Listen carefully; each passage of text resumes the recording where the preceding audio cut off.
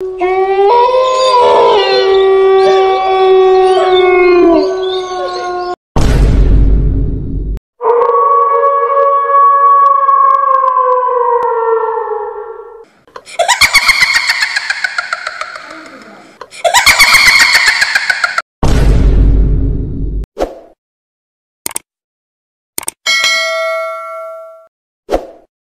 गुल्ली बुल्ली सोन आज एक पुराने कब्रिस्तान जाने वाले हैं, क्योंकि उस कब्रिस्तान में सोन का एक चचेरा भाई है, जो एक दिन सौन से मिलने के लिए उनका घर आ रहा था।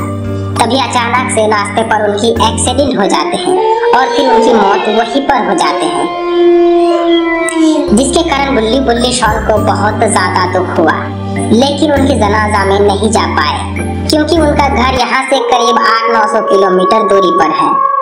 इसीलिए गुल्ली बुल्ली शॉन का सोचना ये है कि उनका जनाजा में तो हम लोग नहीं जा पाए।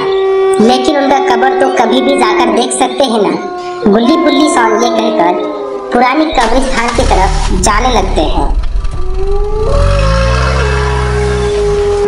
लेकिन गुल्ली बुल्ली शॉन को शायद ये पता नहीं है कि जो लोग एक्सीडेंट से मरते हैं या फिर पहाड़ों से गिरकर, उनकी आत्मा इधर उधर भटकते रहते हैं। यानी कि उनकी शरीर भूतों में बदल जाते हैं। और फिर वही भूत लोगों को जान से मार देते हैं। इसीलिए रात में कब्रिस्तान जाना कोई खतरे से कम नहीं है। अगर रात में कोई कब्रिस्तान गलती से भी चला गया तो उनकी ज़िंदा लौटना नामुमकिन है। इस बात से गुल्ली बुल्ली शॉन को बिल्कुल ही पता नहीं है। थोड़ी देर बाद गुल्ली बुल्ली शॉन कब्रिस्तान के पास पहुँच जाते हैं।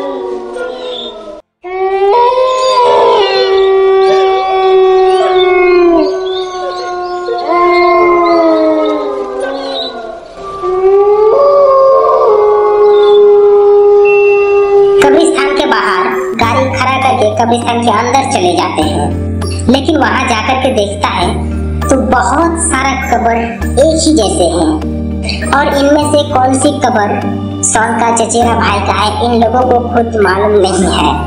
क्योंकि ये लोग जनाजा में तो आया ही नहीं था। तो फिर इन लोगों को मालूम कैसे होगा?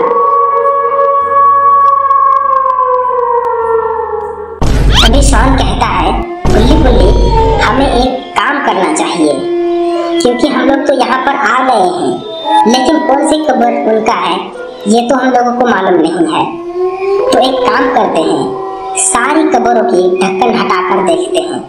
उससे हमें पता लग जाएगा कि हमारा चचेरा भाई किसमें है। जब आए हैं तो किसी भी हाल से और चाहे कितनी भी रात हो जाए, उनसे मिलकर ही जाएँगे। हाँ सर, तुम बिल्कुल सही कहते हो। जब आए हैं तो मिलकर ही जाएँगे।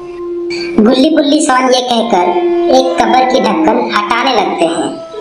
तभी अचानक से कब्रिस्तान से किसी का रोने की आवाज़ सुनाई देती है।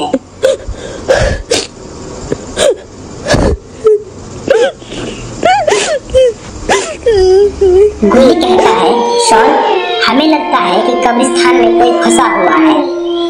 या तो हो सकता है उनका पेट्रोल खत्म हो गया है, या तो फिर उनका गाड़ी खराब हो गया है।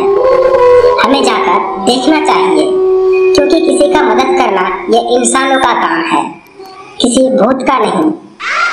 इसीलिए हमें आगे जाकर देखना चाहिए कि आखिर इतनी रात में कौन फंसा हुआ है कब्रिस्तान में। गुल्ली बुल्ली सॉन ये कहकर वो आवाज़ की ओर जाने लगता है। कब्रिस्तान के बीचों बीच आते ही गुल्ली बुल्ली सॉन को चारों तरफ़ से चीखने की आवाज़ सुनाई देता है?